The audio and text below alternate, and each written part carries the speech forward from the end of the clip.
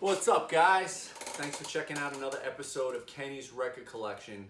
Uh, this episode is going to be all about the weirdest copy of Led Zeppelin 3 that I've ever seen.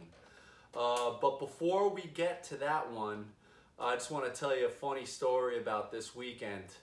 Uh, I do a lot of running around, as you guys know. I go to a lot of garage sales, estate sales, anywhere, thrift stores looking for records. Uh, so I'm on a particular site that I use that advertises garage sales. And I'm laying in bed Saturday morning. It was early. It was like 7 o'clock. My wife wasn't up yet. I was just getting up. I was just, you know, scrolling through this website. And I see a particular yard sale. They posted pictures of records. They had crates of records. And then I see this beautifully laid out photo of a lot of really great albums and they were all laid out flat next to each other, all neatly. And I see some records in there that are very desirable. Uh, the first David Bowie album, the one on Deram Records, uh, it's very hard to get a first pressing. I see that in there. I also see a copy of Marquee Moon by Television, uh, which I already have, but having another copy of that wouldn't hurt. So I jump out of bed. I'm like, I gotta get there. It says it starts at 9.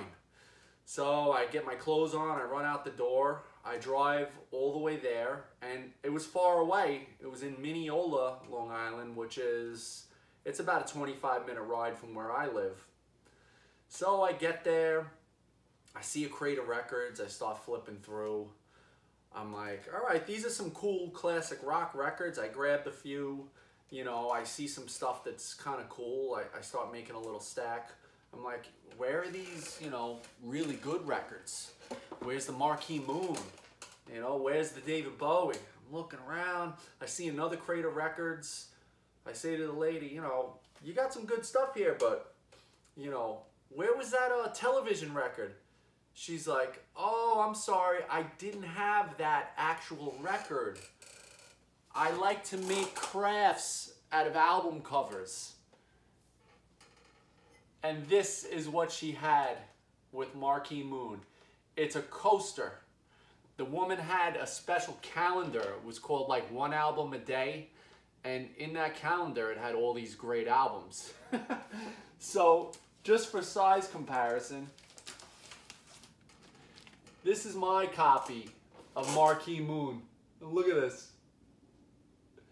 So I just figured I'd share that story with you. It's pretty funny. But hey, this is a really cool coaster anyway. I'm glad I got it. And the David Bowie one was already sold out when I got there. But this is my real copy of Marquee Moon. It's actually a, a promo copy. And this album, if, if you don't have it, get it. If you've never heard of it, it's probably on YouTube. Definitely listen to it. So, funny story. This is what happens when you get crazy running around looking for records. so now to the Led Zeppelin 3. I know a lot of you guys who watch my videos found me through my original Led Zeppelin uh, Bob Ludwig uh, hot mix video that I made a couple months ago. Um, you know, I'm a Led Zeppelin fan. I'm not the hugest fan, but if I see an interesting Led Zeppelin record, I'll, I'll definitely pick it up. Uh, so this was like two years ago, another garage sale story. I, I'm driving my car, I see a garage sale, I pull over.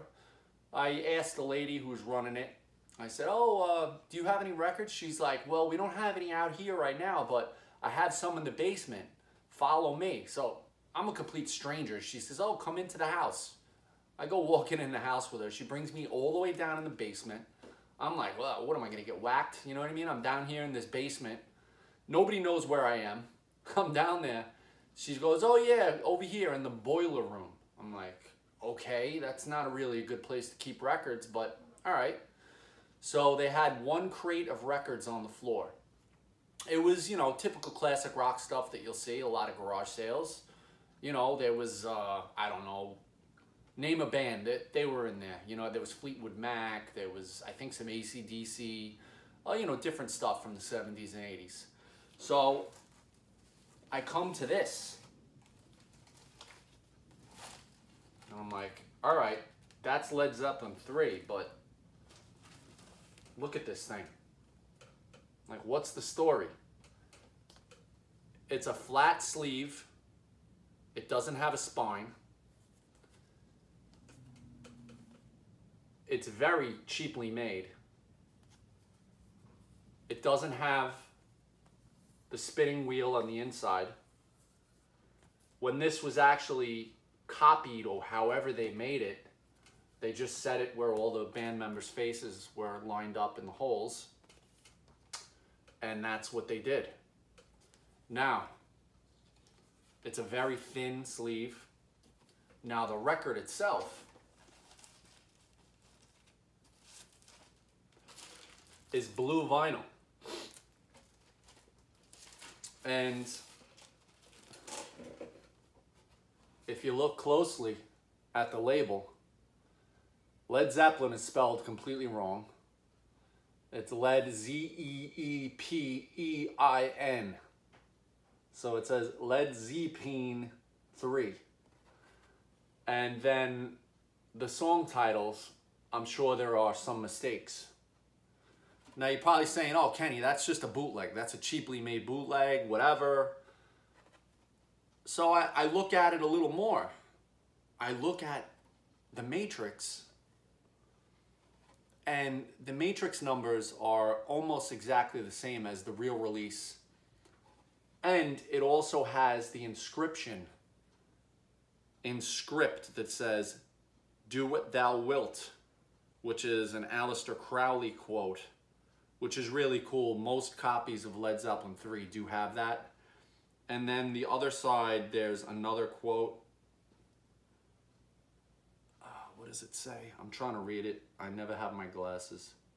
But anyway, if, if you're a Led Zeppelin collector, you know what these matrix numbers are. So I matched them with my, my legit copy of Led Zeppelin 3. And even the writing is almost exactly the same. So if you take a real copy of Led Zeppelin 3 and you line these things up, where all of the scratches are, it's exactly in the same spots in the matrix. So, I mean, I don't know how to bootleg a record or to, you know, do anything like that, but they, they had to have the original stampers or, or mothers or however it is. I'm no expert with how a record's pressed. But I'm assuming that somehow this is like an official pressing of the record. But it's just not sanctioned by the actual company. You know what I mean? It's it's done with the actual real record. Um, so if anybody out there knows anything about this, the furthest I could get with it, I, I found somebody online who was selling one years back, and I think they had some kind of description about it that it was some kind of like Middle Eastern pressing. Could have been maybe for, I don't know, soldiers, American soldiers that were over there back in the, you know, early 70s. And there were a lot of companies that did press up crazy bootlegs to satisfy the um, the actual soldiers that were stationed in different areas. They couldn't import different records. I have another interesting thing over here. I wasn't planning on showing this, but it kind of goes with the whole idea. Uh, this is a cassette copy of uh, Black Sabbath Volume 4, right? And if you look at it, you're like, all right, that looks almost normal you know, but it says Super Edition. And then if you look on the side, it says Sabbath Black. So that's a little ridiculous right there. And then the actual track listing isn't all songs from volume four. They they took stuff from like side B. It's it's got Wicked World. It's got um, there's just a couple songs on here that aren't supposed to be on it, which is which is funny. So, you know, and this company, whoever they were, made a lot of other um, band stuff. So, I don't know. It's kind of funny. Look at that.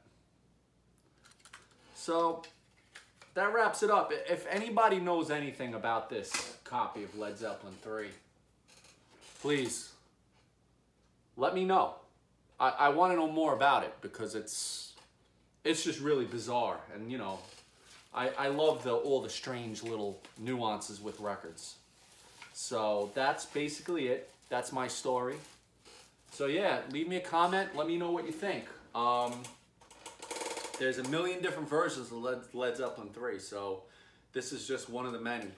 So if you know anything at all about it, let me know. If you have any weird copies of Led Zeppelin 3, let me know. I love talking about this stuff. So if you can, subscribe to my channel. Check out my other videos. Uh, subscribe. I think I'm almost at 200. So if you can get me over 200 subscribers, that would be amazing. So have a great day, guys, and thanks for watching. Bye.